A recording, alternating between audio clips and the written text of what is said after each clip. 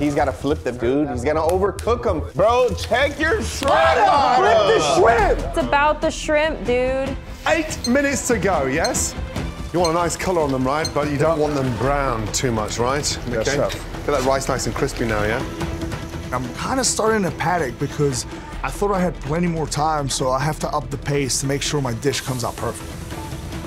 Come on, there's a lot riding on this. We're trying to get out that basement, Mada.